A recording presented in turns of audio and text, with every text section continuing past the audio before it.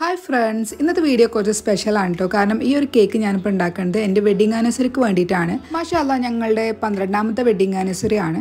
Cake ഉണ്ടാക്കുന്ന സമയത്ത് ഏത് കേക്കാണ് ഉണ്ടാക്കേണ്ടത് എന്നുള്ള ഒരു ടെൻഷനൊന്നും ഉണ്ടായിരുന്നില്ല. കാരണം അയാൻ ഓൾറെഡി പറഞ്ഞിട്ടുണ്ടായിരുന്നു അവനക്ക് മാംഗോ കേക്ക് മതിയെന്ന്. അപ്പോൾ എന്നാൽ ശരി മാംഗോ കേക്ക് തന്നെ ഉണ്ടാക്കാമെന്ന് വിചാരിച്ച്. പിന്നെ എന്റെയും ഒരു ഫേവറേറ്റ് കേക്ക് തന്നെയാണ് കേട്ടോ മാംഗോ കേക്ക് നമുക്ക് എത്ര കഴിച്ചാലും മതി വരാത്ത കേക്കുകളിൽ ഒന്ന് തന്നെയാണ് മാംഗോ കേക്ക് പിന്നെ എനിക്ക് ഏറ്റവും കൂടുതൽ ഓർഡർ കിട്ടണ കേക്കുകൾ ഒന്ന് തന്നെയാണ് കേട്ടോ മാംഗോ കേക്ക് ഇപ്പം ഞാൻ അതിന്റെ ബാറ്റർ തയ്യാറാക്കിക്കൊണ്ടിരിക്കുകയാണ്. അപ്പം ഡ്രൈ ഇൻഗ്രീഡിയൻസ് ഒക്കെ ഓൾറെഡി അരിച്ചു വെച്ചിട്ട് പിന്നെ നമ്മൾ അത് നമ്മുടെ എഗ്ഗൊക്കെ ബീറ്റ് ചെയ്തിലേക്ക് നമ്മൾ ഇട്ട് കൊടുക്കുകയാണ് കേട്ടോ അപ്പം ഇതിന് അത്ര വലിയ സ്പെഷ്യാലിറ്റി ഒന്നുമില്ല. നമ്മൾ സാധാരണ വൈറ്റ് ഫോറസ്റ്റ് കേക്ക് വാനില കേക്കിന്റെ ഒക്കെ ഡ്രൈ ഇൻഗ്രീഡിയൻസ് തന്നെയാണ്.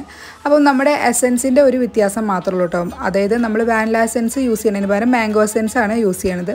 ആ ഒരു ഡിഫറൻസ് മാത്രമേ ഉള്ളൂ. ഇത് ആക്ച്വലി നമ്മൾ വെഡിങ് ആനിവേഴ്സറിന്റെ തലേ ദിവസമാണ് തയ്യാറാക്കിക്കൊണ്ടിരിക്കുന്നത്. സാധാരണ ഞാനൊരു കേക്കിന്റെ ഓർഡറൊക്കെ കിട്ടിയിട്ടുണ്ടെങ്കിൽ രണ്ട് ദിവസം മുന്നേ തന്നെ അതിന്റെ പ്രിപ്പറേഷനൊക്കെ തുടങ്ങും. പെട്ടെന്നുള്ള ഓർഡർ വരുമ്പോൾ മാത്രമാണ് ഞാനിങ്ങനെ വേഗം ചെയ്തെടുക്കാറുള്ളൂ. പക്ഷേ ആക്ച്വലി ഇത് ഞാൻ ഒരു അര കിലോന് ഉണ്ടാക്കണം എന്നാണ് ആദ്യം വിചാരിച്ചത്. പിന്നെ ഞാനത് മുക്കാൽ കിലോനൊക്കെ ആക്കി. അതുകൊണ്ടാണ് ഇപ്പോൾ ഞാൻ തലേ ദിവസം തന്നെ ചെയ്തെടുക്കണത് കേട്ടോ അപ്പം ഒരു കിലോനൊക്കെ ആണെങ്കിൽ എന്തായാലും ഞാൻ രണ്ട് ദിവസം മുന്നേ തന്നെ ആദ്യം കേക്കിന്റെ സ്പഞ്ച് ഉണ്ടാക്കിയിട്ട് പിന്നെ പിറ്റേ ദിവസം ഐസിങ് ചെയ്യാൻ തന്നെ വെക്കുള്ളൂ.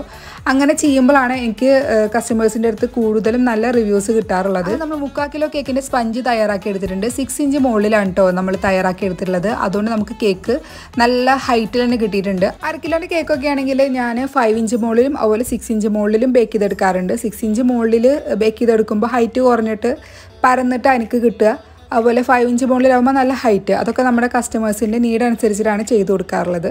അപ്പോൾ നമ്മളിവിടെ ഐസിങ് സ്റ്റാർട്ട് ചെയ്തിട്ടുണ്ട് കേട്ടോ ഷുഗർ വാട്ടർ കൊണ്ട് വെറ്റ് ചെയ്തെടുത്ത ശേഷം ഞാനിവിടെ ക്രീം തേച്ച് കൊടുക്കുകയാണ് വിപ്പിംഗ് ക്രീം ബീറ്റ് ചെയ്തെടുത്തതിലേക്ക് നമ്മളിവിടെ വൺ ഓർ ടു ഡ്രോപ്പ് മാംഗോയുടെ മിൽക്ക് മിക്സ് ആഡ് ചെയ്ത് കൊടുത്തിട്ടുണ്ട്. അതിന്റെ ഒരു ടേസ്റ്റ് കിട്ടാൻ വേണ്ടിയിട്ടാണ്. ഐസിങ് ചെയ്യുമ്പോൾ നമ്മൾ ഫില്ലിങ്സ് ആയിട്ട് കൊടുക്കണത് മാംഗോന്റെ ക്രഷും അതുപോലെ വൈറ്റ് ചോക്ലേറ്റിന്റെ ചിപ്സും ആണ് കേട്ടോ നമുക്ക് വേണമെങ്കിൽ ഐസിങ് ചെയ്യുന്ന സമയത്ത് നട്ട്സൊക്കെ ആഡ് ചെയ്യുക അല്ലെങ്കിൽ നമുക്ക് ഫില്ലിങ്സ് ആയിട്ട് ക്രഷ് മാത്രമായിട്ട് യൂസ് ചെയ്യുക. അതൊക്കെ നമുക്ക് ഓരോരുത്തരുടെ ഇഷ്ടം അനുസരിച്ചാണ്. എനിക്ക് നട്ട്സിനെക്കാട്ടി ഇഷ്ടം വൈറ്റ് ചോക്ലേറ്റ് ചിപ്സ് ആണ് കേട്ടോ. അതുപോലെ മോൻക്കും അതെ നട്ട്സിനെക്കാട്ടിയൊക്കെ ഇഷ്ടം ചിപ്സ് ഇടേണ്ടതാണ് അതുകൊണ്ട് ഞാൻ ഇപ്രാവശ്യം ഉണ്ടാക്കിയപ്പോൾ വൈറ്റ് ചോക്ലേറ്റിന്റെ ചിപ്സാണ് ആഡ് ചെയ്തിട്ടുള്ളത്. വേണമെങ്കിൽ നമുക്ക് ഡാർക്ക് ചോക്ലേറ്റിന്റെ ചിപ്സ് ഇടും കേട്ടോ. അപ്പം അതൊക്കെ എല്ലാം നേരത്തെ പറഞ്ഞ പോലെ കസ്റ്റമേഴ്സിന്റെ നീഡ് അനുസരിച്ചിട്ടാണ് ചെയ്ത് കൊടുക്കാറുള്ളത്. അത് നമ്മൾ കേക്കിന്റെ ഓരോ ലെയറായിട്ട് നമ്മൾ ഐസിങ് ചെയ്ത് എടുക്കുകയാണ്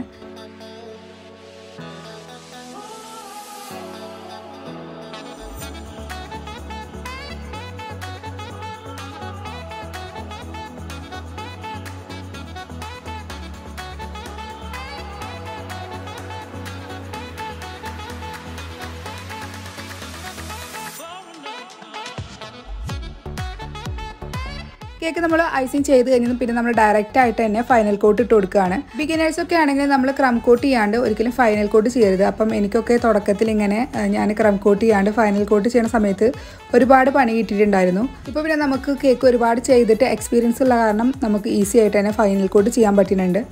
അപ്പോൾ നമ്മൾ ജസ്റ്റ് ഫൈനൽ കോട്ട് ചെയ്ത ശേഷം ലെയർ ഡെക്കറേഷൻ ആണ് കൊടുക്കേണ്ടത് ഇങ്ങനെ കൊടുക്കുമ്പോൾ നമുക്ക് കേക്ക് നന്നായിട്ട് ഫിനിഷ് ചെയ്യേണ്ട ആവശ്യം വരുന്നില്ല കേട്ടോ. പിന്നെ എനിക്ക് ഓൾറെഡി ലയർ ഡെക്കറേഷൻ ആണ് കൂടുതൽ ഇഷ്ടമുള്ളത്. അപ്പോൾ എന്റെ കേക്കാവുമ്പോൾ എന്തായാലും അതന്നെ ആവും.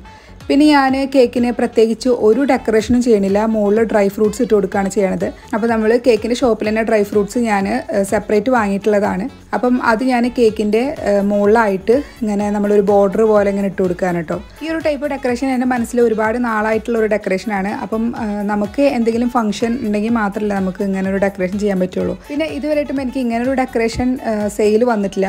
അപ്പം എന്റെ വെഡിങ് ആനിവേഴ്സറിക്ക് എന്നെ ഈ ഒരു ടൈപ്പ് ഡെക്കറേഷൻ ചെയ്യാമെന്ന് വിചാരിച്ചു. അപ്പം എനിക്ക് ഭയങ്കര ഇഷ്ടമുള്ളൊരു ഡെക്കറേഷനാണ് കേട്ടോ ഞാൻ ഇൻസ്റ്റയിലാണോ അതോ യൂട്യൂബിലാണോ എന്ന് അറിയില്ല. എപ്പോഴും ഞാൻ കണ്ടുവച്ചിട്ടുള്ള ഒരു ഡെക്കറേഷനാണ് അപ്പം വെഡിങ് ആനിവേഴ്സറിക്ക് എന്നെ ഈ ഒരു ഡെക്കറേഷൻ അപ്ലൈ ചെയ്യാമെന്ന് വിചാരിച്ച്. ഇതോടെ നമ്മുടെ കേക്കിന്റെ ഡെക്കറേഷൻ കംപ്ലീറ്റ് ആയിട്ടുണ്ട് കേട്ടോ വേറെ സ്പെഷ്യൽ ആയിട്ട് ഒന്നുമില്ല. അപ്പം ഇത്രയുള്ള നമ്മുടെ ഡെക്കറേഷൻ സിമ്പിളായിട്ടുള്ള ഡെക്കറേഷനാണ് അങ്ങനെ നമ്മൾ വെഡിങ് ആനിവേഴ്സറിയുടെ അന്ന് ഒരു നൈറ്റ് റെഡിന് ഇറങ്ങിയിട്ടുള്ളതാണ്. അപ്പം ഞാനൊക്കെ മോനുണ്ട് കേട്ടോ അപ്പം എല്ലാ ദിവസവും നമ്മൾ വീട്ടിൽ നിന്ന് തന്നെയല്ലേ ഫുഡ് കഴിക്കുന്നത് അപ്പം വെഡിങ് ആനിവേഴ്സറി ആയിട്ട് നമ്മളൊന്ന് പുറത്ത് പോയിട്ട് ഫുഡ് കഴിക്കാമെന്നൊക്കെ വിചാരിച്ചു. നമ്മളെപ്പോഴും നമ്മുടെ ചേലക്കരയിൽ തന്നെയാണ് ഫുഡ് കഴിക്കുന്നത് അപ്പോൾ ഇപ്രാവശ്യം ഒന്ന് വെറൈറ്റി ആക്കിയിട്ട് ഒരു കാ മണിക്കൂർ ഡിസ്റ്റൻസ് ഉള്ള ഒരു ഹോട്ടലുണ്ട് കേട്ടോ അപ്പം ഞാൻ എപ്പോഴും ഇങ്ങനെ ഈ വഴിക്ക് പോകുമ്പോൾ ഇങ്ങനെ എത്തി നോക്കാറുള്ള ഒരു ഹോട്ടലാണ് ഇതുവരെയായിട്ടും കയറാൻ പറ്റിയിട്ടില്ല. അപ്പം ഇതിന്റെ പേരൊന്നും ഞാൻ നോട്ട് ചെയ്ത് വെച്ചിട്ടില്ല കേട്ടോ അപ്പോൾ അവിടെ കയറിയിട്ട് മന്തിയാണ് ഓർഡർ ചെയ്തിട്ടുള്ളത്. അപ്പം നമ്മൾ പത്ത് മണി കഴിഞ്ഞിട്ട് ഇങ്ങോട്ട് എത്താൻ വേണ്ടിയിട്ട് ഇക്ക ലേറ്റ് ആയിട്ടാണ് വന്നിട്ടുണ്ടായിരുന്നത്. അതുകൊണ്ട് തന്നെ അവിടുത്തെ വേറെ സ്പെഷ്യൽ ഐറ്റംസ് ഒന്നും ഉണ്ടായിരുന്നില്ല. അപ്പം നമ്മൾ മന്തി തന്നെ ഓർഡർ ചെയ്തു. ചെയ്തു. ഇവിടുത്തെ മന്തി കുറച്ച് വെറൈറ്റി ആയിരുന്നു കേട്ടോ. അപ്പോൾ അതെന്താണെന്ന് അറിയില്ല. എനിക്ക് മന്തി ഒരു ബിരിയാണിയുടെ ടച്ചൊക്കെ പോലെ തോന്നി. പക്ഷേ സംഭവം കൊള്ളായിരുന്നു കേട്ടോ മന്തിയുടെ. അപ്പോൾ നമ്മൾ അൽഫാമാണ് ഓർഡർ ചെയ്തിട്ടുണ്ടായിരുന്നത്. ഇവിടുത്തെ അൽഫാം എനിക്ക് ഭയങ്കര ഇഷ്ടമായിട്ടാണ് അപ്പം അവിടുന്ന് നമ്മൾ ഫുഡ് കഴിച്ച ശേഷം നേരെ വീട്ടിലേക്ക് വന്നിട്ട് പിന്നെ നമ്മൾ കേക്ക് മുറിക്കാമെന്ന് വിചാരിച്ചു. അങ്ങനെ നമ്മൾ മൂന്ന് പേരും കൂടിയിട്ട് കേക്ക് മുറിക്കാൻ കേട്ടോ അപ്പം അലഹമില്ല പന്ത്രണ്ട് വർഷം. എല്ലാവരെയും പോലെ തന്നെ ഹാപ്പി ആയിട്ടും സാഡായിട്ടും അടിപിടി കൂടിയിട്ടൊക്കെ പന്ത്രണ്ട് വർഷം കഴിഞ്ഞു പോയി. ഇനിയും ഇതുപോലെ തന്നെ ഒരുപാട് വർഷം പോകാൻ വേണ്ടിയിട്ട് പഠിച്ചവനെ അനുഗ്രഹിക്കുന്നതന്നെ വിചാരിക്കുകയാണ്. അപ്പോൾ നിങ്ങൾക്ക് ഇന്നത്തെ എന്റെ വീഡിയോ ഇഷ്ടപ്പെട്ടിട്ടുണ്ടെങ്കിൽ ലൈക്ക് ചെയ്യുക ഷെയർ ചെയ്യുക. പുതിയ ഫ്രണ്ട്സ് ഒക്കെ ഉണ്ടെങ്കിൽ സബ്സ്ക്രൈബ് ചെയ്ത് സപ്പോർട്ട് ചെയ്യാൻ വിട്ടുപോരുത് കേട്ടോ ഇൻഷാൽ നമുക്ക് നെക്സ്റ്റ് ഒരു വീഡിയോ ആയിട്ട് വീണ്ടും കണ്ടുകൂട്ടാം താങ്ക്സ് ഫോർ വാച്ചിങ്